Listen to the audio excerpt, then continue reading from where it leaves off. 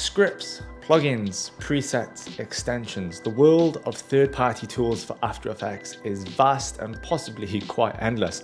And while most of these may introduce stuff like a complex particle system or 3D application, in this new series with Videvo, we're going to have a look at five scripts and extensions that help make you a more proficient motion graphics editor inside of After Effects. It may reduce something to one click from five, and it may help you clean up a timeline in a way that was not otherwise present.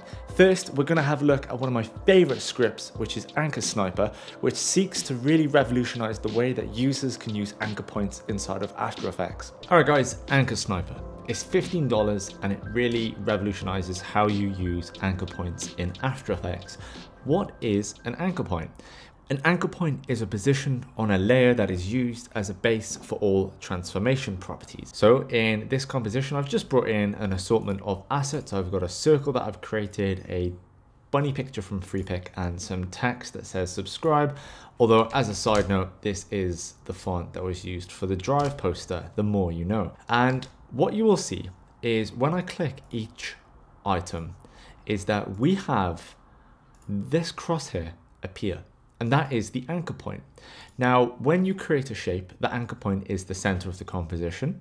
And when you create text, the anchor point is the bottom left of the text layer. Usually, this is not ideal because if I want to say have a pop-up effect on the shape layer, usually we would look to animate the scale. But if I increase and decrease the scale, we can see that it's animating towards the anchor point. And with the text, maybe if I wanted to rotate it, you know, it's rotating from that bottom left. Usually I would want it dead center.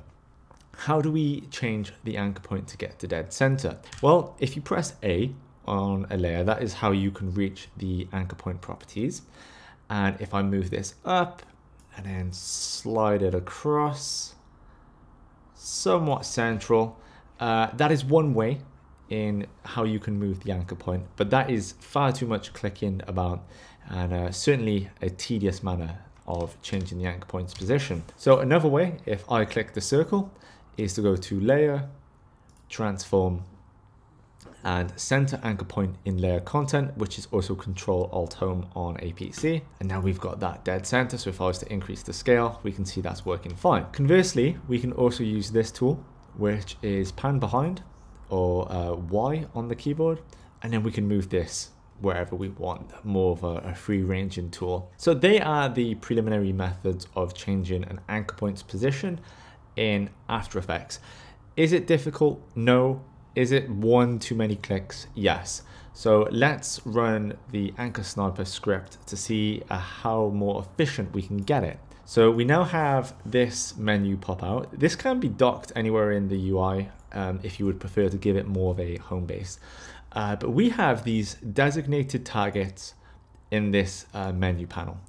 Uh, top, center, bottom right, right, and so on. And you can probably guess what's going to happen when you click it.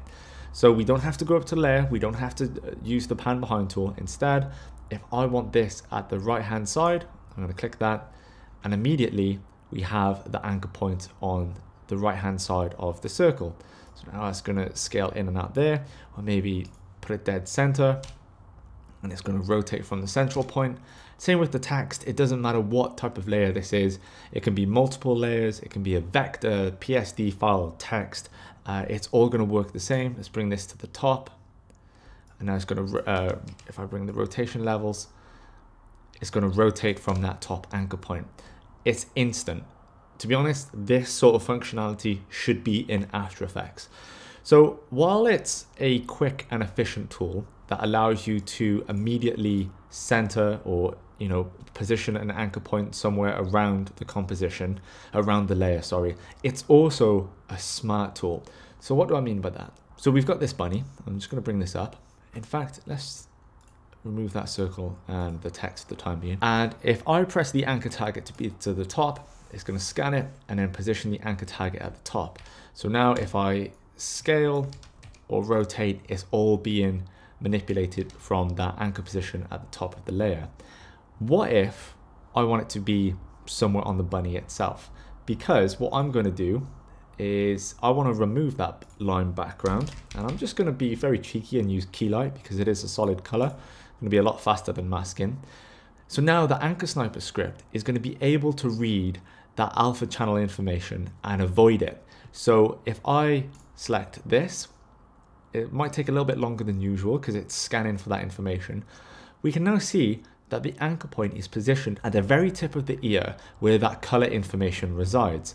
So if I rotate this, it's going to rotate specifically from the ear, not from the top of the layer. And we can see the top of the layer is here.